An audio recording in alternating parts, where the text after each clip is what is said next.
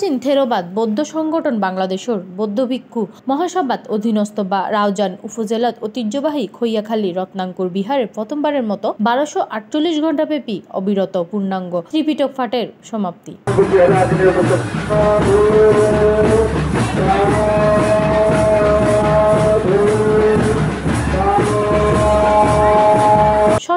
সঙ্গীতিকারক বাইশতম সংঘনায়ক চন্দ্রজেতি আটান্নতম মহাপ্রাণ বার্ষিকী বিষয়ভিত্তিক একক স্বধর্ম দেশনা সহ নানা কর্মসূচির মধ্য দিয়ে রে সম্প্রীতির সম্মেলনা অনুষ্ঠিত হয়েছে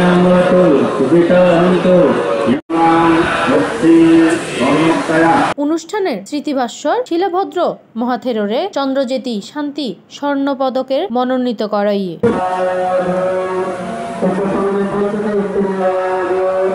পয়লা মে বুধবার বিহার প্রাঙ্গণে সংঘনায়ক ডক্টর এস ধর্মপাল মণ্ডপে খৈয়াখালী রত্নাঙ্কুর বিহার পরিচালনা কমিটির ব্যবস্থাপনা কমিটির সভাপতি শ্রুমঙ্গল থেরো পরিচালনায় অনুষ্ঠানে প্রধান সধর্মদেশক আসিল খৈয়াখালীর ধম্মা বিজয়ারাম বিহার অধ্যাপক উপয়া চক্র মহাথেরো, স্বর্ণপদক প্রাপ্ত লেখক ও গবেষক অধ্যাপক বিনশ্রী মহাথেরোর সভাপতিত্বে সভায় প্রধান অতিথি আসিল বাংলাদেশের বৌদ্ধ কৃষ্টির প্রচার সংঘ যুবুর সভাপতি ব্রহ্মণ্ড প্রতাপ বড়ুয়া রিপন। প্রধান জ্ঞাতি আসিল সধর্ম রশ্মি রতনশ্রী মহাথেরো অধ্যক্ষ আসিল বাংলাদেশের বৌদ্ধ কৃষ্টি প্রচার সংঘ যুবর চট্টগ্রাম উত্তর জেলার সাধারণ সম্পাদক প্রকৌশলী ঝুলেন বড়ুয়া।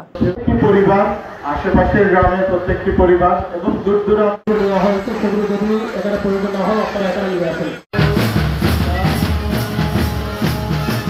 এবং এদিকে আমাদের উচ্চ বিদ্যালয়ে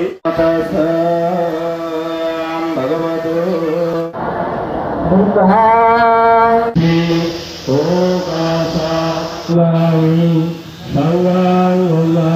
বাংলাদেশের বৌদ্ধ শাসনকে রক্ষা করার জন্য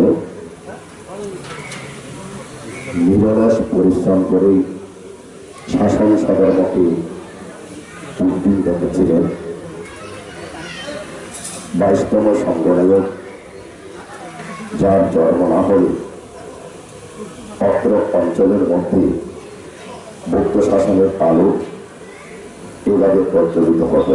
অনুষ্ঠানে স্বাগত বক্তব্য রাখেন খৈয়াখালীর কিশোর সংঘের সাধারণ সম্পাদক কৃষক দিলীপ বড়ুয়া। অনুষ্ঠানে বিশেষ অতিথি আসিল বাংলাদেশের বৌদ্ধ ভিক্ষুক মহাসভার সভাপতি শাসন তিলক সুনন্দ মহাথেরো সহসভাপতি অধ্যাপক বিপুলানন্দ মহাথেরো বাংলাদেশ বৌদ্ধ কৃষ্টি প্রচার সংঘের সিনিয়র সভাপতি ধর্মসেনাপতি রাজগুরু।